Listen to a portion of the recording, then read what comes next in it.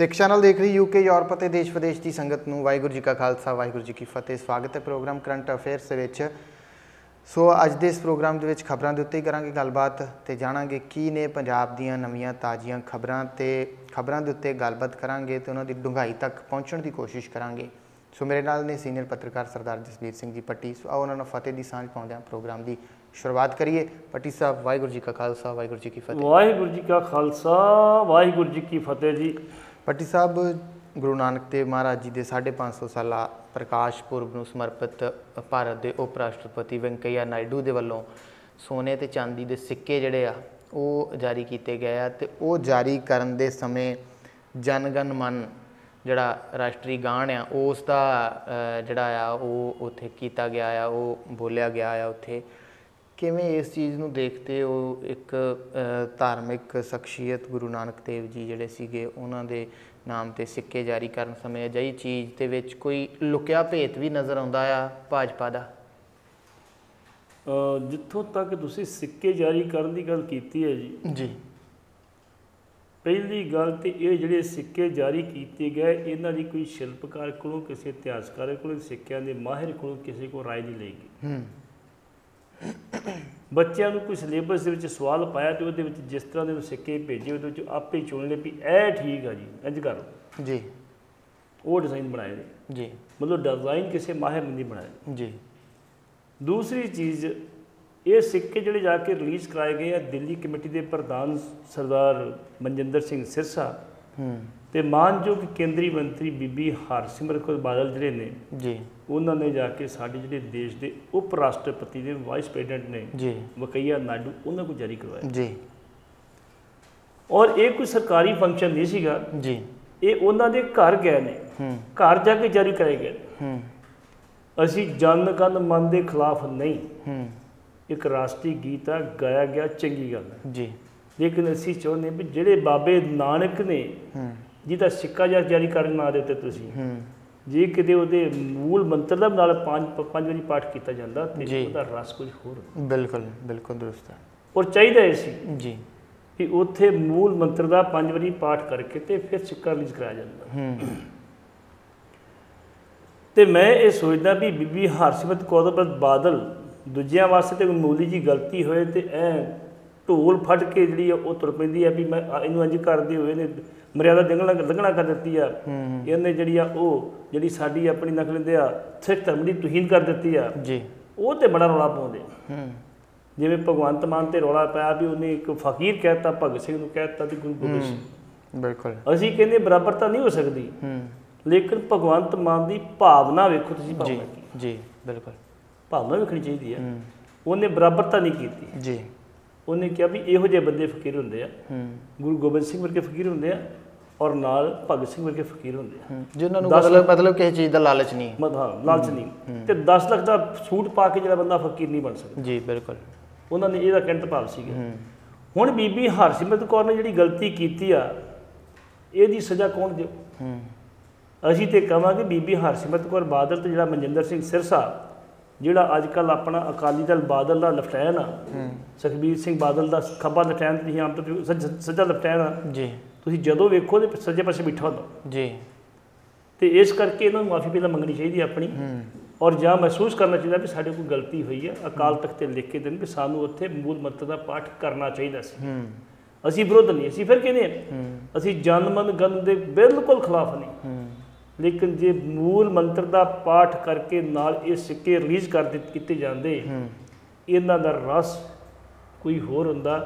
ਫਿਰ ਅਗਲੀ ਚੀਜ਼ ਜਿਹੜੇ ਸਿੱਕੇ ਜਾਰੀ ਕੀਤੇ ਗਏ ਇਹਦੇ ਵਿੱਚ ਸਿਰਸਾ ਜਿਹੜਾ ਮਨਜਿੰਦਰ ਸਿੰਘ ਸਿਰਸਾ ਉਹ ਸਪਸ਼ਟ ਕਰੇ ਵੀ ਕਿਸੇ ਸ਼ਿਲਪਕਾਰ ਦੀ ਕਿਸੇ ਇਤਿਹਾਸਕਾਰ ਦੀ ਸਿੱਕੇ ਸਿੱਕਿਆਂ ਦੇ ਮਾਹਿਰ ਦੀ ਰਾਏ ਕਿਉਂ ਨਹੀਂ ਲਈ ਉੱਥੇ ਕੀ ਤਕਲੀਫ ਸੀਗੀ? ਇਹਨਾਂ ਤੇ ਐਂ ਲੱਗਦਾ ਜਿਵੇਂ ਆਪ ਹੀ ਬਣਾ ਕੇ ਤੇ ਉੱਥੇ ਜਾ ਕੇ ਸਿਰਫ ਜਾਰੀ ਕਰਾ ਕੇ ਤੇ ਸਿੱਖ ਪੰਥ ਨੂੰ ਦਿਖਾ ਦਿੱਤਾ ਹੈ ਕਿ ਅਸੀਂ ਆਹ ਕੰਮ ਕਰਾਇਆ ਜੀ। ਹੁਣ ਅਗਲੀ ਗੱਲ ਤੁਸੀਂ ਵੇਖੋ ਨਾ ਜੇ ਦਿੱਲੀ ਦੇ ਵਿੱਚ ਉਹ ਇੱਕ ਦੋ ਸਿੱਖ ਪਿਓਪਸੀ ਉਹਨਾਂ ਦੀ ਕੁੱਟਮਾਰ ਹੋਈ। ਜੀ। ਪਹਿਲਾਂ ਸਿਰਸੇ ਨੇ ਬੜਾ ਰੌਲਾ ਪਾਇਆ ਸਾਰੇ ਪੁਲਿਸ ਨੇ ਕਿਹਾ 307 ਦਾ ਮੁਕੱਦਮਾ ਦਰਜ ਕਰਾਂਗੇ ਅਸੀਂ ਜੇ। ਕਰਾਂਗੇ ਉਹ ਕਰਾਂਗੇ। ਤੇ ਮੁੜ ਕੇ ਟੀਵੀ ਨੂੰ ਬਿਆਨ ਕੀ ਦੇਣ ਡਿਆ ਵੀ ਉਹਨੂੰ ਜਦੋਂ ਪੁੱਛਿਆ ਗਿਆ ਵੀ ਉੱਥੇ ਤੇ ਕਰੀਬ ਡੇਢ ਦਰਜਨ ਬੰਦੇ ਸੀਗੇ। ਜੀ। ਤੇ ਤੁਸੀਂ ਪਰਚਾ ਤਿੰਨਾਂ ਤੇ ਕਰਾਇਆ ਉਹ ਵੀ ਛੋਟਾ ਜਿਹਾ ਪਰਚਾ 307 ਲਾਈ ਨਹੀਂ ਜੀ। ਅੱਗੋਂ ਕਹਿੰਦਾ ਜੀ ਉਦੋਂ ਮੈਂ ਜਦੋਂ ਅੰਦਰ ਗਿਆ ਤਾਂ ਤਿੰਨਾਂ ਬੰਦੇ ਨਾਂ ਲਿਖੇ ਸੀ ਉਹਨੇ ਨੇ ਪਲੇਟ ਤੇ ਬਾਕੀ ਦੇ ਵੇਖੇ ਹੀ ਨਹੀਂ। ਜੀ। ਵਾਟ ਨਾਉਂਸੈਂਸ ਮਤਲਬ ਇਹਦਾ ਮਤਲਬ ਤੁਸੀਂ ਲੋਕਾਂ ਨੂੰ ਗੁੰਮਰਾਹ ਕਰ ਰਹੇ ਹੋ? ਹੂੰ। ਤੁਸੀਂ ਸਾਰੀ ਕੌਮ ਨੂੰ ਗੁੰਮਰਾਹ ਕਰ ਰਹੇ ਹੋ? ਤੇ ਸਰਸਾ ਸਾਹਿਬ ਇਸ ਸੀਟ ਤੇ ਬਹਿ ਕੇ ਗੁੰਮਰਾਹ ਕਰਨ ਦੇ ਕੰਮ ਛੱਡ ਦਿਓ। ਇੱਥੇ ਜਿਹੜੇ ਕੰਮ ਕਰਨੇ ਆ ਉਹ ਗੁਰੂ ਨੂੰ ਸਮਰਪਿਤ ਹੋ ਕੇ ਕਰੋ। ਜੀ। ਇਸ ਕਰਕੇ ਹਰਸਿਮਰਤ ਕੌਰ ਬਾਦਲ ਦੇ ਸਿਰਸੇ ਨੂੰ ਚਾਹੁੰਦੇ ਆ ਵੀ ਉਹ ਆਪਣੀ ਗਲਤੀ ਦੀ ਸਿੱਖ ਕੌਮ ਤੋਂ ਸਿੱਖ ਪੰਥ ਤੋਂ ਮਾਫੀ ਮੰਗਣ ਜੀ। ਤੇ ਅਕਾਲ ਤਖਤ ਤੇ ਆਪਣੀ ਜਿਹੜੀ ਗਲਤੀ ਆ ਹੋਈ ਜੀ। ਉਹਦੀ ਖਿਮਾ ਯਤਨ ਕਰਨ ਜੀ ਬਿਲਕੁਲ। ਪੱਟੀ ਸਾਹਿਬ ਗੱਲ ਕਰੀਏ ਅੱਗੇ ਹਰਿਆਣੇ ਦੇ ਵਿੱਚ ਅਕਤੂਬਰ ਦੇ ਵਿੱਚ ਇਲੈਕਸ਼ਨ ਜਿਹੜੀ ਆ ਉਹ ਆ ਰਹੀ ਆ ਤੇ ਸੁਖਬੀਰ ਬਾਦਲ ਹੋਰਾਂ ਨੇ ਸ਼੍ਰੋਮਣੀ ਅਕਾਲੀ ਦਲ ਬਾਦਲ ਨੇ 12 ਸੀਟਾਂ ਦੀ ਮੰਗ ਜਿਹੜੀ ਆ ਉਹ ਕੀਤੀ ਆ। ਕਿ ਇਹ ਮੰਗ ਜਿਹੜੀ ਪੂਰੀ ਹੋਊਗੀ ਜਾਂ ਜੇ ਮੰਗ ਪੂਰੀ ਹੋ ਵੀ ਜਾਂਦੀ ਆ ਤਾਂ ਇੰਨੀ ਕੈਪੇਬਿਲਿਟੀ ਹੈਗੀ ਆ ਕਿ 12 ਸੀਟਾਂ ਉੱਥੋਂ ਕੱਢ ਸਕਦੇ ਆ ਜਾਂ ਅੱਧੀਆਂ ਵੀ ਘੱਟੋ ਘੱਟ ਕੱਢ ਸਕਦੇ ਆ? ਪਹਿਲੀ ਗੱਲ ਤੇ ਇਹ ਹੈ ਕਿ ਜਦੋਂ ਸੁਖਬੀਰ ਸਿੰਘ ਬਾਦਲ 1995 ਦੇ ਸਿਆਸਤ ਚ ਆਏ ਨੇ ਜੀ। ਤੇ ਉਹਨਾਂ ਦੇ ਮੁਕਾਬਲੇ ਬੜੇ ਪੁਰਾਣੇ ਪੁਰਾਣੇ ਲੀਡਰ ਜਿਹੜੇ ਅਜੇ ਵੀ ਬੈਠੇ ਨੇ ਜੀ। ਜਿਹੜੇ ਪਿੱਛੇ ਹਾਸ਼ੀ ਤੇ। ਹੂੰ ਬਿਲਕੁਲ। ਤੇ ਸੁਖਬੀਰ ਸਿੰਘ ਬਾਦਲ ਜਦੋਂ 2 ਵਾਰ 2012 ਦੇ ਵਿੱਚ ਦੂਸਰੀ ਲਗਾਤਾਰ ਸਰਕਾਰ ਬਣੀ ਤੇ ਇਹਨਾਂ ਦਾ ਜਿਹੜੀ ਸੀ ਹਉਮੈ ਸੀ ਉਹ ਸਮਾਨੇ ਚੜ ਗਈ ਸੀ। ਜੀ। ਜਦੋਂ ਉਹ ਸਮਾਨੇ ਚੜ ਗਈ ਸੀ ਤੇ ਉਸ ਟਾਈਮ ਤੇ ਇਹਨਾਂ ਕਿਹਾ ਸੀ ਵੀ ਅਸੀਂ ਕੱਲਾ ਪੰਜਾਬ ਦੇ ਵਿੱਚ ਨਹੀਂ ਆਪਣੀ ਪਾਰਟੀ ਨੂੰ ਨੈਸ਼ਨਲ ਪਾਰਟੀ ਬਣਾਵਾਂਗੇ ਸ਼੍ਰੋਮਣੀ ਅਕਾਲੀ ਦਲ। ਜੀ। ਅਸੀਂ ਹਰਿਆਣਾ ਦੇ ਵਿੱਚ ਅਸੀਂ ਯੂਪੀ ਦੇ ਵਿੱਚ ਅਸੀਂ ਦਿੱਲੀ ਦੇ ਵਿੱਚ ਅਸੀਂ ਰਾਜਸਥਾਨ ਦੇ ਵਿੱਚ ਜੀ। ਚੋਣਾਂ ਲੜਾਂਗੇ ਆਪਣੇ ਬਲਬੂਤੇ ਦੇ। ਜੀ। ਤੇ ਜਦੋਂ ਇਹਨਾਂ ਨੇ ਕੋਸ਼ਿਸ਼ ਕੀਤੀ ਵੀ ਯੂਪੀ ਜਾ ਕੇ ਅਸੀਂ ਇਲੈਕਸ਼ਨ ਲੜੀਏ ਜੀ। ਤੇ ਭਾਜਪਾ ਨੇ ਇੱਕੋ ਦਬਕਾ ਮਾਰਿਆ ਸੀ ਭਾਈ ਪੜਿਆ ਵਿਚਾਰ ਲਓ। ਕਿਉਂਕਿ ਜਿਹੜੇ ਤੁਸੀਂ ਬੰਦੇ ਖੜੇ ਕਰਨੇ ਉਹ ਨੁਕਸਾਨ ਸਾਡਾ ਹੋਣਾ। ਹੂੰ। ਇਹ 'ਚ ਕੋਈ ਸ਼ੱਕ ਨਹੀਂ ਗੱਲ ਜੀ। ਨੁਕਸਾਨ ਭਾਜਪਾ ਦਾ ਹੋਣਾ ਜੀ, ਜਿਹੜੀਆਂ ਵੋਟਾਂ ਮਿਲੀਆਂ ਸੀ। ਜੀ। ਤੇ ਪਹਿਲਾਂ ਇਹ ਕਹਿੰਦੇ ਸਾਨੂੰ ਇੱਕ ਸੀਟ ਦੇ ਦਿਓ ਦੋ ਦੇ ਦਿਓ ਤਿੰਨ ਦੇ ਦਿਓ। ਹੂੰ। ਤੇ ਉੱਥੇ ਇੰਚਾਰਜ ਲਾਇਆ ਸੀ ਇਹਨਾਂ ਨੇ ਸਾਡੇ ਮਾਨਯੋਗ ਬਲਵੰਤ ਸਿੰਘ ਜਿਹੜੇ ਹੈਗੇ ਨੇ ਉਹ ਰਮਵਾਲੀਆ। ਰਾਮਵਾਲੀਆ ਜੀ। ਤੇ ਲੇਕਿਨ ਉਹਨਾਂ ਦਾ ਪਤਾ ਹੀ ਨਹੀਂ ਲੱਗਾ ਕਦੋਂ ਰਾਤੋਂ ਰਾਤੋਂ ਸਾਈਕਲ ਦੀ ਸਵਾਰੀ ਕਰਕੇ ਦੌੜ ਗਏ ਉੱਥੇ। ਬਿਲਕੁਲ ਬਿਲਕੁਲ। ਜੇਲ੍ਹ ਮੰਤਰੀ ਬਣ ਗਏ ਸੀਗੇ ਉਹ। ਜੇਲ੍ਹ ਮੰਤਰੀ ਬਣ ਗਏ। ਜੀ। ਤੇ ਇਸ ਕਰਕੇ ਮੈਂ ਇਹ ਮਹਿਸੂਸ ਕਰਦਾ ਵੀ ਉਦੋਂ ਇਹਨਾਂ ਦੀ ਆਪਸੀ ਜਿਹੜੀ ਹਫੜਾ ਦਫੜੀ ਦੇ ਕਰਕੇ ਉਦੋਂ ਬੀਜੇਪੀ ਨੇ ਕਹਿੰਦਾ ਕੋਈ ਸੀਟ ਦੇਣੀ। ਇਹਨਾਂ ਕਹਿੰਦਾ ਚਲੋ ਨਾ ਦਿਓ ਕੋਈ ਗੱਲ ਉਸ ਤੋਂ ਬਾਅਦ ਹਰਿਆਣੇ 'ਚ ਇਲੈਕਸ਼ਨ ਹੋਈ। ਜੀ। ਹਰਿਆਣੇ ਦੇ ਵਿੱਚ ਅਕਾਲੀ ਦਲ ਦਾ ਹਮੇਸ਼ਾ ਹੀ ਇੰਡੀਅਨ ਲੋਕ ਦਲ ਦੇ ਨਾਲ ਜਿਹੜਾ ਚੁਟਾਲੇ ਦੀ ਪਾਰਟੀ ਉਹਨਾਂ ਸਮਝੌਤਾ ਹੁੰਦਾ ਸਮਝੌਤਾ ਹੁੰਦਾ ਜੀ ਬਿਲਕੁਲ। ਇਹਨਾਂ ਸਮਝੌਤਾ ਕਰਕੇ ਉਹਨਾਂ ਕੋਲ ਸੀਟਾਂ ਲਈਆਂ। ਹੂੰ। ਚਾਰ ਸੀਟਾਂ ਲਈਆਂ। ਜੀ। ਸ਼ਾਇਦ ਦੋ ਜਿੱਤੀਆਂ ਸੀ ਉਦੋਂ ਉਹਨਾਂ ਨੇ। ਹੂੰ। ਤੇ ਉਹ ਚਾਰ ਸੀਟਾਂ ਲਈਆਂ ਤੇ ਉਹ ਉੱਥੇ ਭਾਜਪਾ ਨੂੰ ਗਾਲਾਂ ਕੱਢੀਆਂ।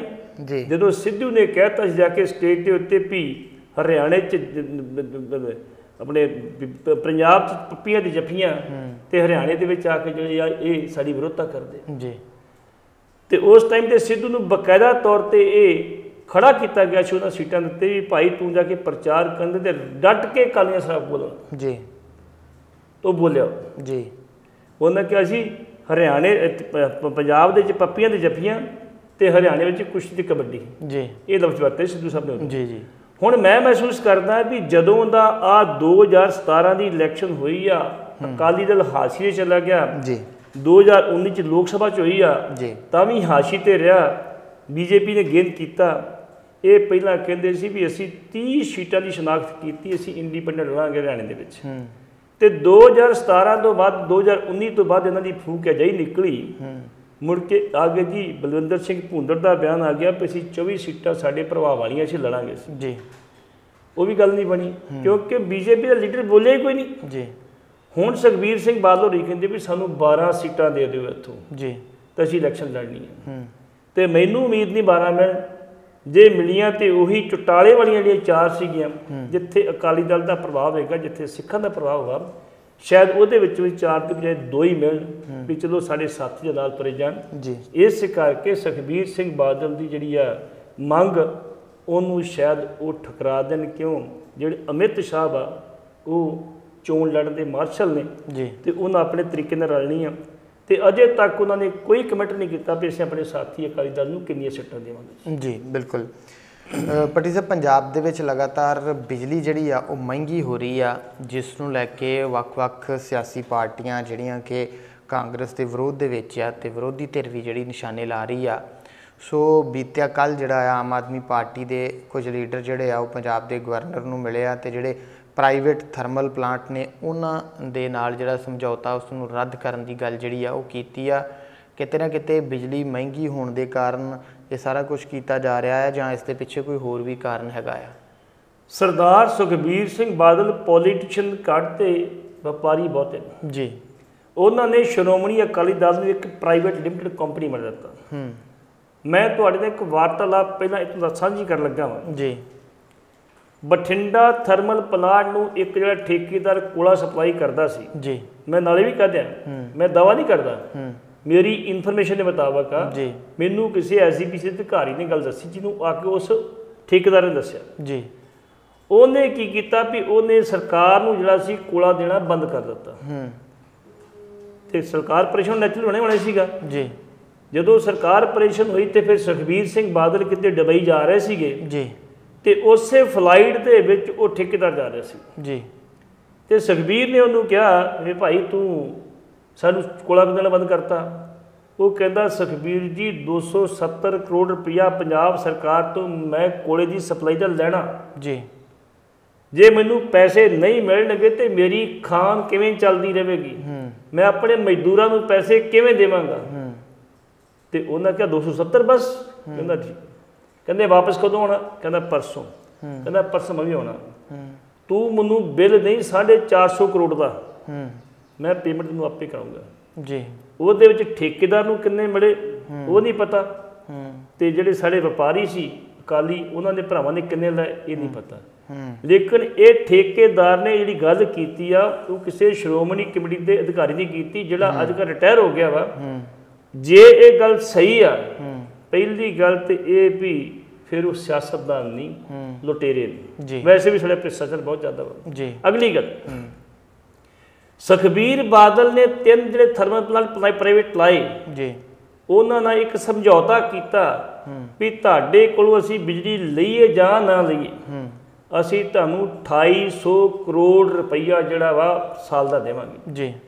ਆਮ ਆਦਮੀ ਪਾਰਟੀ ਦੇ ਜਿਹੜੇ ਸਾਡੇ ਗਵਰਨਰ ਨੇ ਬਦਨੌਰ ਜੀ। ਉਹਨਾਂ ਨੂੰ ਇੱਕ ਮੰਗ ਪੱਤਰ ਦੇ ਕੇ ਇਹ ਮੰਗ ਕੀਤੀ ਆ ਵੀ ਪੰਜਾਬ ਦੀ ਇਕਨੋਮੀ ਦਾ ਬੜਾ ਵੱਡਾ ਸਰਮਾਇਆ ਜਿਹੜਾ ਵਾ ਵਾਲੇ 25 ਸਾਲਾਂ 'ਚ 70000 ਕਰੋੜ ਇਹਨਾਂ ਪਲਾਂਟਾਂ ਕੋਲ ਚਲ ਜਾਏਗਾ। ਤੇ ਸਭ ਤੋਂ ਮਹਿੰਗੀ ਬਿਜਲੀ ਲੈ ਕੇ ਅਸੀਂ ਦੇ ਰਹੇ ਹਾਂ। ਜੀ। ਉਹਨਾਂ ਨੇ ਕਿਹਾ ਵੀ ਇਹੀ ਹਾਲਤ ਸਾਡੀ ਦਿੱਲੀ ਦੀ ਆ। ਜੇ ਦਿੱਲੀ ਸਰਕਾਰ ਬਾਹਰੋਂ ਥਰਮਲ ਪਲਾਂਟ ਤੋਂ ਬਿਜਲੀ ਖਰੀਦ ਕੇ ਜਿਹੜੀ ਉਹ ਸਸਤੀ ਦੇ ਸਕਦੀ ਹੈ ਫਿਰ ਪੰਜਾਬ ਸਰਕਾਰ ਕਿਉਂ ਨਹੀਂ? ਜੀ। ਉਹਨਾਂ ਨੇ ਕਿਹਾ ਗਵਰਨਰ ਸਾਹਿਬ ਨੂੰ ਕਿ ਇਹ ਸਮਝੌਤੇ ਰੱਦ ਕਰਕੇ ਨਵੇਂ ਸਿਰੇ ਤੋਂ ਕੀਤੇ ਜਾਣ। ਜੇ ਤੁਸੀਂ ਕੁੱਲ ਇਹਦਾ ਅੰਦਾਜ਼ਾ ਲਾ ਲਓ ਤੇ ਮੇਰਾ ਖਿਆਲ ਵੀ ਜਿਹੜੀ ਬਿਜਲੀ ਉਹਨਾਂ ਕੋਲ ਲੈ ਕੇ ਅਸੀਂ ਗਾਂ ਲੋਕਾਂ ਨੂੰ ਵੇਚ ਰਹੇ ਹਾਂ ਹੂੰ। ਉਹਦਾ ਖਰਚਾ ਵੀ ਜੇ ਬਣਦਾ ਤੇ ਅੱਧ ਅੱਧ ਆ ਜਾਣਾ। ਜੀ। ਇਸ ਕਰਕੇ ਸੁਖਬੀਰ ਸਿੰਘ ਬਾਦਲ ਨੇ ਇਹ ਸਮਝੌਤਾ ਕਰਨ ਵਾਸਤੇ ਕਿਹੜੇ ਹੱਥ ਖੰਡੇ ਅਪਣਾਏ ਕਿਉਂ ਅਪਣਾਏ ਇਹ ਤੇ ਬਿਹਤਰ ਉਹ ਦੱਸ ਸਕਦੇ ਆ। ਲੇਕਿਨ ਮੈਂ ਕਹੂੰਗਾ ਵੀ ਆਮ ਆਦਮੀ ਪਾਰਟੀ ਦੀ ਮੰਗ ਬਿਲਕੁਲ ਜਾਇਜ਼ ਆ। ਹੂੰ। ਔਰ ਇਹਦੇ ਉੱਤੇ ਜੇ ਕਿਤੇ ਸਿੱਧੂ ਸਾਹਿਬ ਆ ਜਾਂਦੇ ਮੰਤਰੀ ਨਹੀਂ ਆਏ ਵੱਖਰੀ ਗੱਲ। ਜੀ। ਜੇ ਆ ਜਾਂਦੇ ਤੇ ਭਾਵੇਂ ਉਹਨਾਂ ਦੀ ਸੁਣਾਈ ਹੁੰਦੀ ਜ਼ਿਆਦਾ ਹੁੰਦੀ ਪਰ ਇੱਕ ਵਾਰੀ ਇਹਨਾਂ ਨੂੰ ਕੁੰਡੀ ਜ਼ਰੂਰ ਪਾਉਣੀ ਸੀ ਥਰਮਲ ਪਲਾਂਟ ਵਾਲਿਆਂ ਨੇ ਵੀ ਆਓ ਦੱਸੋ ਵੀ ਕੀ ਕਰਦੇ ਤੁਸੀਂ। ਜੀ।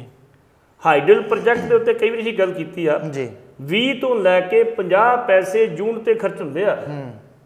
ਤੇ ਜੇ ਅਸੀਂ 8 ਰੁਪਏ ਜਾਂ 10 ਰੁਪਏ ਗਾਂ ਬਿਜਲੀ ਵੇਚਦੇ ਤਾਂ ਕਿੰਨਾ ਫਾਇਦਾ ਸਟੇਟ ਨੂੰ ਹੁੰਦਾ। ਜੀ ਬਿਲਕੁਲ। ਤੇ ਇਹ ਐਸੈਂਸ਼ੀਅਲੀ ਇੱਕ ਮੁੱਢ ਚ ਆਉਂਦੀ ਬਿਜਲੀ।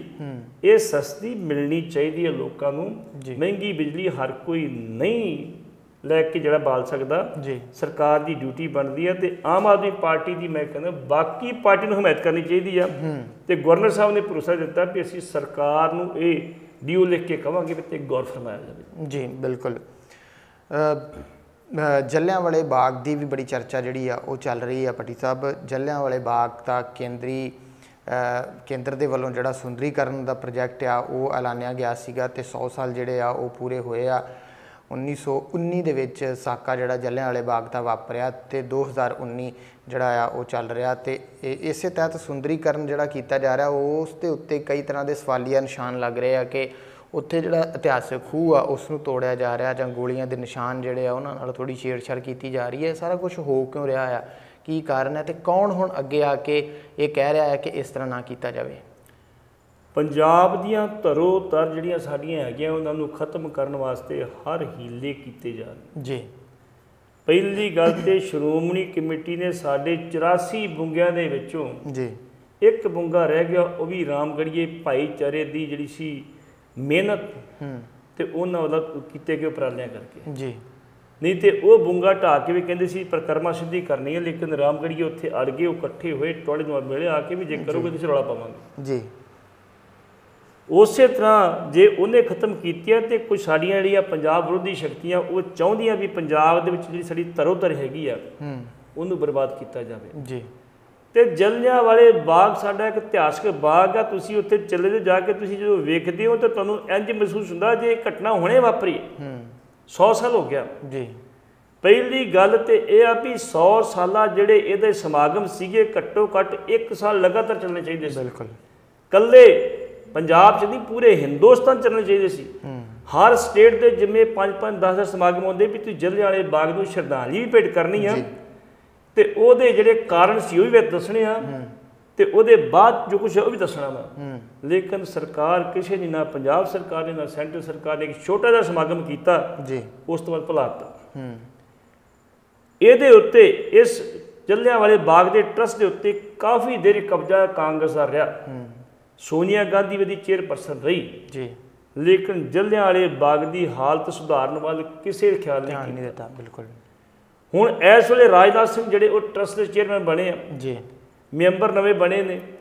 ਉਹਦੇ ਵਿੱਚ 19 ਕਰੋੜ ਰੁਪਈਆ ਜਲਿਆਂ ਵਾਲੇ ਬਾਗ ਦੇ ਵਿਕਾਸ ਲਈ ਜਾਰੀ ਹੋਇਆ। ਜੀ। ਮੈਂ ਸੋਚਦਾ ਵੀ ਉਹ 19 ਕਰੋੜ ਰੁਪਈਆ ਉਹਦੀ ਰੈਨੋਵੇਸ਼ਨ ਲੱਗਣਾ ਚਾਹੀਦਾ। ਜੀ। ਹੁਣ ਇਹ ਕਹਿ ਰਿਹਾ ਵੀ ਜਿਹੜਾ ਜਲਿਆਂ ਵਾਲੇ ਬਾਗ ਦਾ ਉੱਪਰੋਂ ਢਾਹ ਕੇ ਖੁੱਲਾ ਕੀਤਾ ਜਾਵੇ ਤਾਂ ਲੋਕ ਕਹਿ ਰਹੇ ਨੇ ਵੀ ਨਹੀਂ। ਹੂੰ।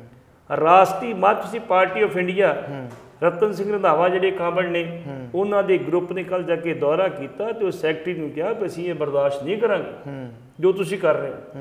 ਇਹਨੂੰ ਐਜ ਇਟ ਚ ਰੱਖ ਕੇ ਤੁਸੀਂ ਤੇ ਰੈਨੋਵੇਸ਼ਨ ਕਰੋ। ਇਤਿਹਾਸਕ ਗਲੀਆਂ ਮਿਟਾਈਆਂ ਜਾ ਰਹੀਆਂ। ਇਤਿਹਾਸਕ ਗਲੀਆਂ ਬਟਾਈਆਂ ਜਾ ਰਹੀਆਂ।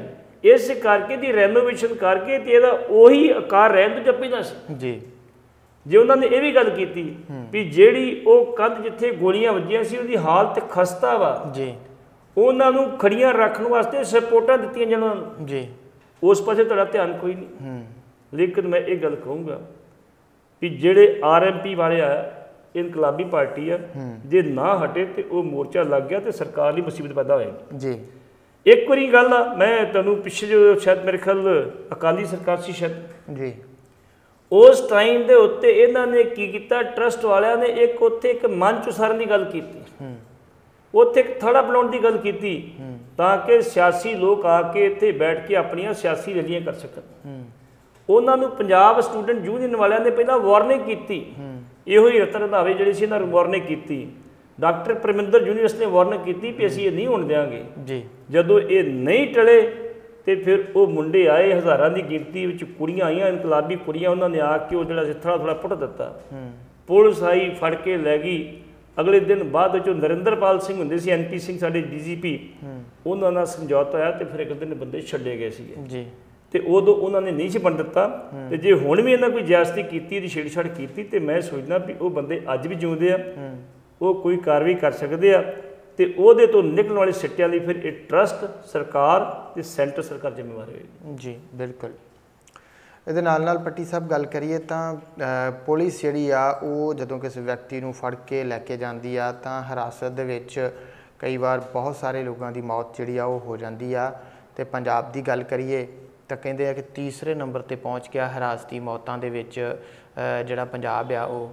ਤੇ ਪੰਜਾਬ ਦੇ ਵਿੱਚ ਇਸ ਵੇਲੇ ਪੁਲਿਸ ਜਿਹੜੀ ਆ, ਉਹ ਜਿਵੇਂ ਜੇਲ੍ਹ ਦੇ ਵਿੱਚ ਪਿਛਲੇ ਦਿਨੀ ਇੱਕ ਘਟਨਾ ਜਿਹੜੀ ਵਾਪਰੀ ਆ, ਉੱਥੇ ਵੀ ਇੱਕ ਵਿਅਕਤੀ ਨੂੰ ਜਿਹੜਾ ਕੁੱਟਣ ਤੋਂ ਬਾਅਦ ਦੇ ਵਿੱਚ ਉਹਦੀ ਮੌਤ ਹੋ ਗਈ ਇੱਕ ਵੈਸੇ ਉੱਥੇ ਜਿਹੜਾ ਲੜਾਈ ਝਗੜਾ ਚੱਲਿਆ ਜੇਲ੍ਹ ਦੇ ਅੰਦਰ ਉੱਥੇ ਮੌਤ ਹੋ ਗਈ। ਜਿਹੜੀ ਜੇਲ੍ਹਾਂ ਦੀ ਹਾਲਤ ਹੈ ਜੀ ਉਹ ਬੜੀ ਮਾੜੀ ਜੀ। ਬਹੁਤ ਮਾੜੀ ਹੈ। ਜਿਹੜੀ ਆਪਾਂ ਹਰਾਸਤੀ ਮੌਤਾਂ ਦੀ ਗੱਲ ਕਰੀਏ ਜੀ। ਮੈਂ ਸੋਚੂਗਾ ਇਹ ਪੰਜਾਬ ਜਿਹੜਾ ਵਾ ਉਹ ਤੀਸਰੇ ਨੰਬਰ ਤੇ ਪਾਪੂਲੇਸ਼ਨ ਦੇ ਹਿਸਾਬ ਨਾਲ ਏਰੀਆ ਦੇ ਹਿਸਾਬ ਨਾਲ ਪਹਿਲੇ ਨੰਬਰ ਤੇ ਆਉਂਦਾ ਹੈ ਹੂੰ। ਜਿਹੜੀ ਇਹਨਾਂ ਦੀ ਏਸ਼ੀਅਨ ਜੀ। ਸੈਂਟਰ ਫਾਰ ਹਿਊਮਨ ਰਾਈਟਸ ਜੀ। ਜਥੇਬੰਦੀ ਆ ਜੀ। ਉਹਨੇ ਜਿਹੜੀ ਰਿਪੋਰਟ ਸਬਮਿਟ ਕੀਤੀ ਆ ਸਾਰੇ ਡਾਟੇ ਇਕੱਠੇ ਕਰਕੇ ਜੀ। ਉਹ ਕਹਿੰਦੇ ਵੀ ਪਹਿਲੇ ਨੰਬਰ ਤੇ ਹਰਾਸਤੀ ਮੌਤਾਂ ਦੀ ਯੂਪੀ ਹੈ ਜੀ। ਉੱਤਰ ਪ੍ਰਦੇਸ਼। ਜੀ। ਹੁਣ ਉੱਤਰ ਪ੍ਰਦੇਸ਼ ਦਾ ਇਲਾਕਾ ਤੇ ਪਾਪੂਲੇਸ਼ਨ ਗਿਣ ਲਓ ਸਾਡੇ ਮੁਕਾਬਲੇ ਕਿੰਨੀ ਜ਼ਿਆਦੀ ਹੋਣੀ ਹੂੰ।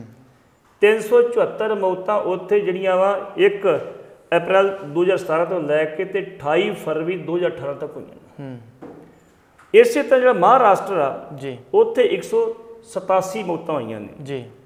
137 137 ਮੌਤਾਂ ਹੋਈਆਂ ਨੇ। ਜੀ। ਤੇ ਜਿਹੜਾ ਪੰਜਾਬ ਆ ਇੱਥੇ ਹਰਾਸਤੀ ਮੌਤਾਂ ਇਸ 11 ਮਹੀਨਿਆਂ ਦੇ ਸਮੇਂ ਦੇ 128 ਹੋਈਆਂ ਨੇ। ਜੀ। ਮਹਾਰਾਸ਼ਟਰ ਦੇ ਵਿੱਚ ਤੇ ਉੱਤਰ ਪ੍ਰਦੇਸ਼ ਤੁਸੀਂ ਵੇਖ ਲਓ ਇਲਾਕਾ ਕਿੰਨਾ ਵਾ?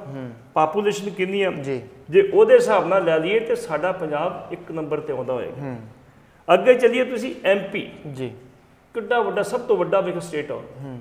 ਉਸ ਤੇ ਹਰਾਸਤੀ ਮੌਕਾਂ ਦੀ ਹਰਾਸਤੀ ਮੌਤਾਂ ਦੀ ਗਿਣਤੀ ਸਿਰਫ 113 ਵਾ। ਜੀ। ਅੱਗੇ ਚੱਲ ਜਾਓ ਬਿਹਾਰ ਜੀ। ਜਿਹਨੂੰ ਇਹ ਗੁੰਡਾ ਰਾਜ ਕਹਿੰਦੇ ਉੱਥੇ ਜੀ। 109 ਵਾ। ਜੀ।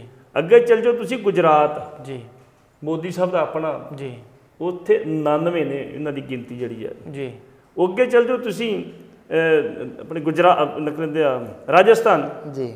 ਸੌਰੀ ਰਾਜਸਥਾਨ ਜਿਹੜੀ ਆ ਉਹ 99 ਆ। ਜੀ। ਗੁਜਰਾਤ ਜਿਹੜੀ 61 ਆਉਂਦੀ ਆ। ਜੀ। ਹਰਿਆਣਾ ਦੇ ਵਿੱਚ ਸਾਡਾ ਜਿਹੜਾ ਨਾਲ ਦਾ ਸਟੇਟ ਆ ਉੱਥੇ 48 ਆ। ਜੀ। ਤੇ ਜਿਹੜੀ ਸਾਡੀ ਹਰਿਆਣੇ ਤੋਂ ਬਾਅਦ ਸਾਡੀ ਦਿੱਲੀ ਆਉਂਦੀ ਆ ਜੀ। ਉੱਥੇ 41 ਆ। ਜੀ। ਉਸ ਤੋਂ ਅੱਗੇ ਚਲ ਜਾਓ ਤੁਸੀਂ ਹਿਮਾਚਲ ਪ੍ਰਦੇਸ਼। ਜੀ। ਹਿਮਾਚਲ ਪ੍ਰਦੇਸ਼ ਵਿੱਚ ਇਹਨੇ ਸਮੇਂ ਦੇ ਵਿੱਚ 8 ਹਰਾਸਤੀ ਮੌਤਾਂ ਹੋਈਆਂ ਵਾ। ਹੂੰ। ਤੇ ਸਭ ਤੋਂ ਘੱਟ ਹਰਾਸਤੀ ਮੌਤਾਂ ਜੰਮੂ ਕਸ਼ਮੀਰ ਚ ਜਿਹੜੇ ਪਰ ਮੈਨੂੰ ਨਹੀਂ ਯਾਦ ਨਹੀਂ ਹੈਗੇ। ਜੀ ਜੀ ਬਿਲਕੁਲ। ਚਾਰ ਮੌਤਾਂ ਹੋਈਆਂ ਉੱਥੇ ਜੀ ਜੀ। ਇਸ ਸਮੇਂ ਦੇ ਵਿੱਚ। ਹੂੰ। ਮੁਕਾਬਲੇ ਹੋ ਗਏ ਵੱਖਰੀ ਗੱਲ ਆ। ਲੇਕਿਨ ਹਰਾਸਤੀ ਮੌਤਾਂ ਸਿਰਫ ਚਾਰ ਹੋਈਆਂ ਚਾਰ ਨੇ। ਹੋਈਆਂ। ਮੈਂ ਸੋਚਦਾ ਵੀ ਇਹਦੇ ਵਿੱਚ ਕਾਰਨ ਕੀ ਹੈ ਹੂੰ। ਦੇਸ਼ ਦੀਆਂ 14 1401 ਜ਼ਿਲ੍ਹਾ ਨੇ। ਜੀ। ਜਿਨ੍ਹਾਂ ਦੇ ਵਿੱਚ 149 ਜ਼ਿਲ੍ਹਾ ਇਹੋ ਜਿਹੀਆਂ ਵਾ ਜਿਨ੍ਹਾਂ ਦੇ ਵਿੱਚ ਜਿਹੜੀ ਗਿਣਤੀ ਆ ਕੈਦੀਆਂ ਦੀ ਉਹ ਡਬਲ ਆ। ਜੀ। 200 ਸੌਰੀ 200 ਗੁਣਾ ਵਾ। ਜੇ 200 ਗੁਣਾ ਹੋ ਗਈ ਡਬਲ ਤੋਂ ਵੱਧ ਗਈ ਉਹ। ਹੂੰ। ਤੇ ਫਿਰ ਕਿਵੇਂ ਉੱਥੇ ਫਿਰ ਲੜਾਈ ਨਾ ਹੋਊਗੀ? ਉਹਨੇ ਕਹਣਾ ਜੀ ਥੜੀ ਤੇ ਮੈਂ ਸੁਣਨ ਤੇ ਮੈਂ ਸੁਣ ਲੜਾਈ ਤਾਂ ਚੱਲੀ ਹੋਣੀ ਹੋਣੀ ਹੂੰ। ਪੁਲਿਸ ਫੜੂਗੀ ਤਸ਼ੱਦਦ ਕਰੂਗੀ ਤੇ ਬੰਦਾ ਤੇ ਮਰਨੇ ਮਰਨਾ ਵਾ। ਜੀ। ਇਸ ਕਰਕੇ ਮੈਂ ਸੋਚਦਾ ਵਾਂ ਵੀ ਇਹਨਾਂ ਦਾ ਨਵੀਨੀਕਰਨ ਕੀਤਾ ਜਾਣਾ ਚਾਹੀਦਾ ਜ਼ਿਲ੍ਹਾ ਦਾ।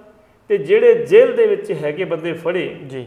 ਉਹਨਾਂ ਦੀਆਂ ਕਲਾਸਾਂ ਵੱਖ-ਵੱਖ ਲੱਗਣੀਆਂ ਚਾਹੀਦੀਆਂ। ਜੀ। ਪ੍ਰੋਫੈਸਰ ਜਾਣ ਟੀਚਰ ਜਾਣ ਉਹਨਾਂ ਨੂੰ ਜਿਹੜੇ ਸਾਡੇ ਆਪਣੇ ਹਿਊਮਨ ਰਾਈਟਸ ਬਾਰੇ ਜਾਣਕਾਰੀ ਦੇਣ ਉਹਨਾਂ ਨੂੰ ਉਹਨੇ ਡਿਊਟੀ ਬਾਰੇ ਜਾਣਕਾਰੀ ਦੇਣ ਉਹਨਾਂ ਨੂੰ ਇਹੋ ਜਿਹਾ ਇਨਕਲਾਬੀ ਭਾਸ਼ਣ ਦੇਣ ਵੀ ਉਹ ਇਸ ਤੋਂ ਤੋਬਾ ਕਰਨਾ ਵੀ ਅਸੀਂ ਕ੍ਰਾਈਮ ਨਹੀਂ ਕਰਨਾ ਜੀ। ਜੀ। ਤੇ ਇਹ ਕੀਤਾ ਜਾਵੇ ਠੀਕ ਆ। ਲੇਕਿਨ ਮੇਰੇ ਹਿਸਾਬ ਨਾਲ ਜੇ ਪਾਪੂਲੇਸ਼ਨ ਦੇ ਹਿਸਾਬ ਨਾਲ ਗਿਣੀਏ ਜੇ ਇਲਾਕੇ ਦੇ ਹਿਸਾਬ ਨਾਲ ਗਿਣੀਏ ਤੇ ਪੰਜਾਬ ਹਰਾਸਤੀ ਮੌਤਾਂ ਦੀ ਪਹਿਲੇ ਨੰਬਰ ਤੇ ਆਏ। ਜੀ। ਪਟੀ ਸਾਹਿਬ ਅੱਜ ਮਹਾਰਾਜਾ ਰਣਜੀਤ ਸਿੰਘ ਦੀ 180ਵੀਂ ਬਰਸੀ ਜਿਹੜੀ ਆ ਉਹ ਮਨਾਈ ਜਾ ਰਹੀ ਆ ਡੇਰਾ ਸਾਹਿਬ ਲਾਹੌਰ ਵਿਖੇ ਤੇ ਇਥੋਂ ਜਥਾ ਜਿਹੜਾ ਉਹ ਬਰਸੀ ਮਨਾਉਣ ਵਾਸਤੇ ਵੀ ਉੱਥੇ ਪਹੁੰਚਿਆ ਆ। ਪਰ ਪੰਜਾਬ ਦੇ ਵਿੱਚ ਮਹਾਰਾਜਾ ਰਣਜੀਤ ਸਿੰਘ ਦੀ ਬਰਸੀ ਦੀ ਗੱਲ ਕੀਤੀ ਜਾਵੇ ਤਾਂ ਥੋੜਾ ਜਿਹਾ ਸਰਕਾਰੀ ਤੌਰ ਦੇ ਉੱਤੇ ਵੀ ਇਹ ਕੰਮ ਫਿੱਕਾ ਰਹਿੰਦਾ। ਸਰਕਾਰ ਵੀ ਇਹਨਾਂ ਇੰਟਰਸਟ ਨਹੀਂ ਦਿਖਾਉਂਦੀ। ਲਾਹੌਰ ਦੇ ਵਿੱਚ ਤਾਂ ਜਿਹੜਾ ਕਿਲਾ ਉੱਥੇ ਬੁੱਤ ਤੱਕ ਲਗਾ ਦਿੱਤਾ ਗਿਆ ਮਹਾਰਾਜਾ ਰਣਜੀਤ ਸਿੰਘ ਦਾ। ਨਹੀਂ ਬੁੱਤ ਤੇ ਜੀ ਇੱਥੇ ਵੀ ਲੱਗੇ ਨੇ ਇਹ ਨਹੀਂ ਲੱਗੇ। ਲੇਕਿਨ ਬੁੱਤ ਜਿਹੜੇ ਇੱਥੇ ਲੱਗੇ ਆ ਹੂੰ। ਉਹਨਾਂ ਦੀ ਜਾਣਕਾਰੀ ਕਿਸ ਦਿੱਤੀ ਜਾਂਦੀ ਵੀ ਇਹ ਬੁੱਤ ਕਿਹਦਾ ਹੂੰ? ਉੱਥੇ ਜਿਹੜੇ ਸਿਆਸੀ ਲੀਡਰ ਨੇ ਜੀ। ਉਹ ਆਪਣਾ ਨਾਂ ਤਾਂ ਮੋٹے ਅੱਖਰ 'ਚ ਲਿਖਦੇ ਸੁਖਬੀਰ ਸਿੰਘ ਬਾਦਲ ਨੇ ਇਹਦਾ ਉਦਘਾਟਨ ਕੀਤਾ ਜੀ। ਹੂੰ। ਤੇ ਜਿਹਦਾ ਬੁੱਤ ਹੁੰਦਾ ਵਾ ਉਹਦੇ ਪਤਾ ਨਹੀਂ ਕਿਹਦਾ ਬੁੱਤ ਹੁੰਦਾ। ਹੂੰ। ਹੁਣ ਪਤਾ ਨਹੀਂ ਇਹਦੇ ਬਾਬੇ ਦਾ ਕਿ ਦਾਦੇ ਦਾ ਕਿਹਦਾ ਬੁੱਤ ਹੈਗਾ ਕਿ ਮਹਾਰਾਜ ਸਿੰਘ ਦਾ ਕਿਹਦਾ ਪਤਾ ਹੀ ਨਹੀਂ ਹੁੰਦਾ। ਹੂੰ।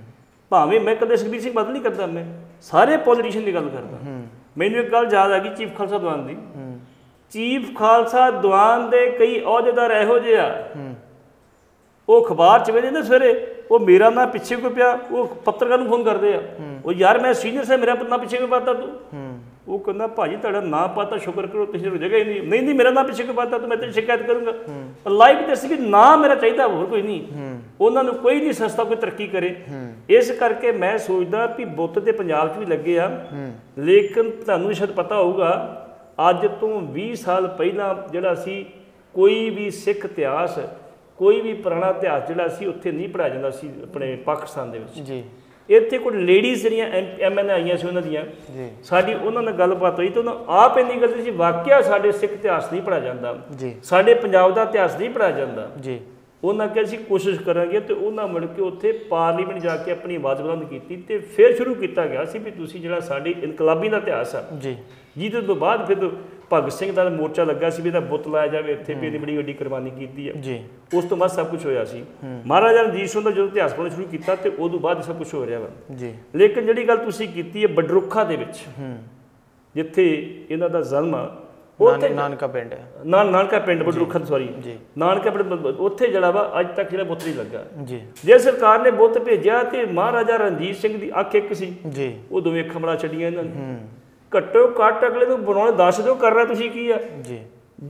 ਇਸ ਕਰਕੇ ਮੈਂ ਸੋਚਦਾ ਵੀ ਇਹ ਤਰੁੱਟੀਆਂ ਦੂਰ ਕੀਤੀਆਂ ਜਾਣੀਆਂ ਚਾਹੀਦੀਆਂ। ਜੀ। ਮਹਾਰਾਜਾ ਰਣਜੀਤ ਸਿੰਘ ਸਰਦਾਰ ਪ੍ਰਕਾਸ਼ ਸਿੰਘ ਬਾਦਲ 1997 ਤੋਂ ਕਹਿ ਜਾ ਰਹੇ ਜੀ। ਮੈਨੂੰ ਯਾਦ ਹੈ ਇਹਨਾਂ ਇੱਕ ਸਪੀਚ ਕੀਤੀ ਸੀ। ਉਹਨਾਂ ਦੇ ਮੂੰਹ ਪਾ ਕੇ ਕਹਿੰਦਾ ਮੈਂ ਇੱਥੇ ਮੈਂ ਨਹੀਂ ਕਹਿ ਰਿਹਾ। ਜੀ। ਉਦੋਂ ਪੱਠਲ ਮੁੱਖ ਮੰਤਰੀ ਸਨ ਰਜਿੰਦਰ ਕੌਰ ਪੱਠਲ ਮੁੱਖ ਮੰਤਰੀ ਪੰਜਾਬ ਦੇ। ਜੀ। ਇਹਨਾਂ ਨੇ ਇੰਨੀ ਗੱਲ ਕਹੀ ਜੀ ਤੁਹਾਨੂੰ ਅਸੀਂ ਸਾਡੀ ਸਰਕਾਰ ਬਣੇਗੀ ਤੇ ਤੁਹਾਨੂੰ ਅਸੀਂ ਮਹਾਰਾਜਾ ਰਣਜੀਤ ਸਿੰਘ ਦਾ ਆਦਰਸ਼ ਰਾਜ ਦਿਆਂਗੇ। ਜੀ। ਉਹਦੇ ਵਰਗਾ ਸ਼ਾਸਨ ਦਿਆਂਗੇ ਤੁਹਾਨੂੰ। ਤੇ ਤੁਹਾਨੂੰ ਪਤਾ ਕੀ ਸੀ? ਕਹਿੰਦਾ ਮਹਾਰਾਜਾ ਰਣਜੀਤ ਸਿੰਘ ਦੇ ਰਾਜ ਦੇ ਵਿੱਚ ਤਾਂ ਆਂਦੇ ਕਿ ਕੁੱਤੇ ਦੇ ਗਲ 'ਚ ਸੋਨੇ ਦਾ ਕੈਂਠਾ ਪਾ ਦਿਓ ਤੇ ਕੋਈ ਲਾਉਂਦਾ ਨਹੀਂ ਸੀਗਾ। ਕਹਿੰਦਾ ਇੱਥੇ ਕੈਂਠਾ ਪਾ ਕੇ ਭੇਜ ਦਿਓ ਵੀ ਪੱਠਣੀ ਲਾ ਲੈਣਾ। ਮਤਲਬ ਇੱਥੋਂ ਤੱਕ ਗਰੀਆਂ ਗੱਲਾਂ ਕਰਦੇ ਸੀਗੇ। ਮੇਰਾ ਕਹਿਣ ਤੋਂ ਭਾਵ ਆ ਵੀ ਜੇ ਮਹਾਰਾਜਾ ਰਣਜੀਤ ਸਿੰਘ ਦੀ ਗੱਲ ਕੀਤੀ ਸੀ ਸਦਾ ਪ੍ਰਕਾਸ਼ ਸਿੰਘ ਬਾਦਲ ਨੇ ਤੇ ਫਿਰ ਉਦੋਂ ਚਾਹੀਦਾ ਇਹਨਾਂ ਸੀ ਮਹਾਰਾਜਾ ਰਣਜੀਤ ਸਿੰਘ ਜਿਹੜੇ ਜਨਮ ਦਿਨ ਜਨਮ ਸਿੰਘ ਸੀ ਉਹਨਾਂ ਨੂੰ ਸਟੇਟ ਲੈਵਲ ਤੇ ਮਨਾਉਂਦੇ ਉਹਨਾਂ ਦੀ ਰਾਜਗੱਦੀ ਦਾ ਸਟੇਟ ਲੈਵਲ ਤੇ ਮਨਾਉਂਦੇ ਜੀ। ਉਹਨਾਂ ਦਾ ਜਨਮ ਦਿਨ ਸਭ ਸਟੇਟ ਲੈਵਲ ਤੇ ਮਨਾਉਂਦੇ। ਪਰ ਇਸ ਪਰ ਕਦੀ ਖਿਆਲ ਨਹੀਂ ਕੀਤਾ। ਲੇਕਿਨ ਇਹ ਸੀ ਉਹਦੇ ਨਾਂ ਤੇ ਵੋਟਾਂ ਜ਼ਰੂਰ ਲਈਆਂ ਵੀ ਸਾਨੂੰ ਜੇ ਤੁਸੀਂ ਵੋਟਾਂ ਦਿਓਗੇ। ਅਸੀਂ ਤੁਹਾਨੂੰ ਮਹਾਰਾਜਾ ਰਣਜੀਤ ਸਿੰਘ ਦੀ ਆਦਰਸ਼ ਰਾਜਾ ਦਿਆਂਗੇ। ਜੀ। ਹੁਣ ਅਗਲੀ ਗੱਲ ਚੱਲਦੇ ਹਾਂ। ਮਹਾਰਾਜਾ ਰਣਜੀਤ ਸਿੰਘ ਜਿਹੜਾ ਸੀ ਉਹ ਬੜਾ ਤਲਵਾਰ ਦਾ ਬੜਾ ਧੜੀ ਸੀ। ਦਲੇਰ ਬਹੁਤ ਸੀ। ਦਲੇਰ ਬਹੁਤ ਸੀ ਕਿ ਤੇ ਸ਼ੁਰੂ ਤੋਂ ਉਹਨੇ ਜਦੋਂ ਉਹਦੇ 'ਚ ਇਹ ਮਨ ਅੱਛਾ ਸੀ ਵੀ ਮੈਂ ਕਿਤੇ ਕਿਤੇ ਰਾਜ ਕਰਨਾ। ਸਹੀ ਸਹੀ ਸਾਡੇ ਜਿਹੜੇ ਮਿਸ਼ਲਾਂ ਦੇ ਜਰਨੈਲ ਸੀ ਉਹ ਬੁੱਢੇ ਹੁੰਦੇ ਗਏ। ਇਹ ਜਵਾਨ ਹੁੰਦਾ ਗਿਆ। ਇਹਨੇ ਸਹੀ ਸਹੀ ਕਬਜ਼ਾ ਕਰਨਾ ਸ਼ੁਰੂ ਕਰਤਾ। ਇੱਕ ਮਿਸਲ ਦੋ ਮਿਸਲ ਤੀਜੀ ਮਿਸਲ ਹੈ ਕਹਿੰਦਾ ਜੀ ਮੈਂ ਤਾਂ ਕੁਝ ਕਰਦਾ ਨਹੀਂ ਖਾਲਸਾ ਰਾਜ। ਇਹ ਖਾਲਸਾ ਸਰਕਾਰ ਆ ਖਾਲਸਾ ਰਾਜ। ਤੇ ਗੱਲ ਵੀ ਸਹੀ ਹੈ ਜੀ। ਉਹਦੇ ਰਾਜ ਦੇ ਵਿੱਚ ਕਿਤੇ ਵੀ ਤੁਸੀਂ ਮਹਾਰਾਜਾ ਰਣਜੀਤ ਸਿੰਘ ਦਾ ਨਾਮ ਲਿਖਿਆ ਨਹੀਂ ਮਿਲੇਗਾ ਜਿੱਥੇ ਲਿਖਿਆ ਹੋਊਗਾ ਖਾਲਸਾ ਦਰਬਾਰ ਲਿਖਿਆ ਹੋਊਗਾ। ਜਿੱਥੇ ਲਿਖਿਆ ਹੋਊ ਖਾਲਸਾ ਰਾਜ ਲਿਖਿਆ ਹੋਊਗਾ ਖਾਲਸਾ ਸਰਕਾਰ ਲਿਖਿਆ ਹੋਊਗਾ ਦੇਖ ਤੇ ਫਤਿਹ ਲਿਖੀ ਲਿਖਿਆ ਹੋਊਗਾ। ਮਤਲਬ ਉਹਨੇ ਆਪਣੇ ਲੈਵਲ ਤੇ ਕੁਝ ਨਹੀਂ ਕੀਤਾ ਜੋ ਕੀਤਾ ਉਹਨੇ ਖਾਲਸੇ ਦੇ ਨਾਂ ਤੇ ਕੀਤਾ। ਖਾਲਸਾ ਰਾਜ ਜਿਹੜਾ ਹਿਸਾਬ ਲਾ ਲਓ ਵੀ ਕਿੱਥੋਂ ਸੀ ਸੁਲਤਾਨ ਸਤਲੁਜ ਤੋਂ ਲੈ ਕੇ ਤੇ ਕਿੱਥੇ ਅਫਗਾਨਿਸਤਾਨ ਜੀ ਜੀ। ਜਿਹੜੇ ਸਾਡੇ ਅਬਦਾਲੀ ਵਰਗੇ ਹੁੰਦੇ ਸੀਗੇ ਜੇ ਉਹਨਾਂ ਨੂੰ ਧੱਕਿਆ ਪਿੱਛੇ ਤੇ ਮਹਾਰਾਜ ਰਣਜੀਤ ਸਿੰਘ ਧੱਕਿਆ। ਉਸ ਤੋਂ ਬਾਅਦ ਹਿੰਮਤ ਨਹੀਂ ਕੀਤੀ ਉਹਨਾਂ ਨੇ। ਇੱਕ ਵਾਰੀ ਜਦੋਂ ਅਬਦਾਲੀ ਦੇ ਪੋਤਰੇ ਨੇ ਲਾਹੌਰ ਦੇ ਵਿੱਚ ਇੰਨੀ ਗੱਲ ਕਹੀ ਜੀ। ਵੀ ਵੇਖੋ ਜੀ ਜਿਹੜਾ ਮਹਾਰਾਜਾ ਰਣਜੀਤ ਸਿੰਘ ਆ ਇਹ ਜਿਹੜੇ ਸਿੱਖ ਨੇ ਸਿੱਖ ਸਿੰਘ। ਉਹਨੇ ਸਿੰਘ ਕਿਹਾ ਜਿਹੜੇ ਸਿੰਘ ਆ ਜਦੋਂ ਸਾਡੀਆਂ ਫੌਜਾਂ ਜਾਂਦੀਆਂ ਇਹ ਵੇਖ ਕੇ ਨੱਸ ਜਾਂਦੇ ਭੱਜ ਜਾਂਦੇ ਉੱਥੋਂ। ਤੇ ਜਦੋਂ ਮਹਾਰਾਜਾ ਰਣਜੀਤ ਸਿੰਘ ਨੂੰ ਪਤਾ ਲੱਗਾ ਤਾਂ ਉਹਨੇ ਆ ਕੇ ਲਲਕਾਰਿਆ ਸੀ। ਆ ਓਏ ਬਦਾਲੀ ਦੇ ਪੁੱਤਰਾ ਬਾਹਰ ਨਿਕਲ। ਤੈਨੂੰ ਚੜ੍ਹ ਸਿੰਘ ਦਾ ਪੁੱਤਰਾ ਮੰਗਾਰਦਾ ਹੀ। ਕਿੰਨੀ ਉਮਰ ਸੀ? ਜਵਾਨ ਦੀ 17 ਸਾਲ। ਤੇ ਜਿਹੜਾ ਅਬਦਾਲੀ ਦਾ ਪੁੱਤਰਾ ਸੀ ਉਹ ਬਾਹਰ ਆਇਆ ਸੀ। ਬਾਹਰ ਕਿਵੇਂ ਆਇਆ ਸੀ? ਉਹ ਮਹਾਰਾਜਾ ਰਣਜੀਤ ਸਿੰਘ ਦੀ ਸ਼ਰਨ ਚ ਆਇਆ ਸੀ। ਹੂੰ। ਲੜਿਆ ਨਹੀਂ ਸੀ ਆ ਕੇ। ਜੀ। ਸ਼ਰਨ ਚ ਆਇਆ ਸੀ ਨਹੀਂ ਬਈ ਤੂੰ ਤਗੜਾ ਮਾਰਿਆ ਸੀ। ਹੂੰ। ਤੇ ਮੇਰਾ ਕਹਿਣ ਤੋਂ ਪਾਪ ਵੀ ਉਹਦਾ ਰਾਜ ਇੰਨਾ ਫੈਲਿਆ ਸੀ ਹੂੰ। ਜੋ ਕੁਝ ਉਹਨੇ ਸਿੱਖ ਰਾਜ ਚ ਕੀਤਾ ਜੋ ਸਿੱਖਾਂ ਵਾਸਤੇ ਕੀਤਾ ਜਿਹੜੇ ਮੋਹਕਮ ਸਿੰਘ ਦੀਵਾਨੇ ਖਾਸ ਉੱਥੇ ਹੁੰਦੇ ਸੀਗੇ ਉਹ ਕਹਿੰਦੇ ਸੀ ਇਹ ਰਾਜ ਸਾਡਾ ਵਾ। ਜਿਹੜੇ ਫਕੀਰ ਅਜ਼ੀਜ਼ੁਦੀਨ ਹੁੰਦੇ ਸੀ ਉਹ ਕਹਿੰਦੇ ਸੀ ਆਪਣਾ ਰਾਜ ਮਤਲਬ ਦੂਜੀਆਂ ਕੌਮਾਂ ਦੇ ਲੋਕ ਇਹ ਗੱਲ ਕਹਿੰਦੇ ਸਾਡਾ ਆਪਣਾ ਰਾਜ। ਆ ਬਿਲਕੁਲ। ਇਹ ਮਹਾਰਾਜਾ ਰਣਜੀਤ ਸਿੰਘ ਦੀ ਦੇਣ ਸੀ। ਅੱਜ ਮੈਂ ਉਹਨਾਂ ਦਾ ਜੇ ਜਨਮ ਦਿਨ ਉਹਨੇ ਵਰਸੀ ਮਨਾਈ ਜਾ ਰਹੀ ਹੈ। ਜੀ। ਬੜੀ ਚੰਗੀ ਗੱਲ ਹੈ। ਔਰ ਮੈਂ ਸੋਚਦਾ ਵੀ ਪੰਜਾਬ ਦੇ ਵਿੱਚ ਵੀ ਜੇ ਉਹਨੂੰ ਹਰ ਜ਼ਿਲ੍ਹੇ 'ਚ ਵੱਡੀ ਪੱਧਰ ਤੇ ਮਨਾਇਆ ਜਾਵੇ ਤੇ ਸਾਰੇ ਧਰਮ ਸਾਰੇ ਜਾਤਾਂ ਇਕੱਠੀਆਂ ਹੋ ਕੇ ਮਨਾਉਣ ਜੀ। ਤੇ ਇੱਕ ਨਵਾਂ ਪੰਜਾਬ ਅਸੀਂ ਸਿਰਜ ਸਕਦੇ ਹਾਂ। ਉਹਨਾਂ ਦਾ ਪੰਜਾਬ ਜਿਹੜਾ ਬਣਾਇਆ ਸੀ ਉੱਤੇ ਪਹਿਰਾ ਦੇ ਸਕਦੇ ਹਾਂ। ਜੀ। ਬਿਲਕੁਲ ਇਹ ਸਨ ਸੀਨੀਅਰ ਪੱਤਰਕਾਰ ਸਰਦਾਰ ਜਸਵੀਰ ਸਿੰਘ ਜੀ ਪੱਟੀ ਜਿਨ੍ਹਾਂ ਨਾਲ ਅਸੀਂ ਖਬਰਾਂ ਦੇ ਉੱਤੇ ਗੱਲਬਾਤ ਕੀਤੀ ਤੇ ਖਾਸ ਤੌਰ ਦੇ ਉੱਤੇ ਹੁਣ ਅੰਤ ਦੇ ਉੱਤੇ ਮਹਾਰਾਜਾ ਰਣਜੀਤ ਸਿੰਘ ਜੀ ਦੀ 180ਵੀਂ ਬਰਸੀ ਜਿਹੜੀ ਕਿ ਡੇਰਾ ਸਾਹਿਬ ਲਾਹੌਰ ਪਾਕਿਸਤਾਨ ਦੇ ਵਿੱਚ ਮਨਾਈ ਜਾ ਰਹੀ ਹੈ ਉਸ ਦੇ ਉੱਤੇ ਗੱਲਬਾਤ ਕੀਤੀ। ਸੋ ਸਮਾਂ ਜਿਹੜਾ ਆ ਉਹ ਸਮਾਪਤ ਆ। ਇੱਥੇ ਆਗਿਆ ਦਿਓ ਤੇ ਇੱਥੇ ਤੁਹਾਡੇ ਤੋਂ ਇਜਾਜ਼ਤ ਚਾਹਾਂਗੇ ਤੇ ਇੱਥੇ ਬੁਲਾਉਂਦੇ ਫਤਿਹ। ਵਾਹਿਗੁਰੂ ਜੀ ਕਾ ਖਾਲਸਾ ਵਾਹਿਗੁਰੂ ਜੀ ਕੀ ਫਤਿਹ।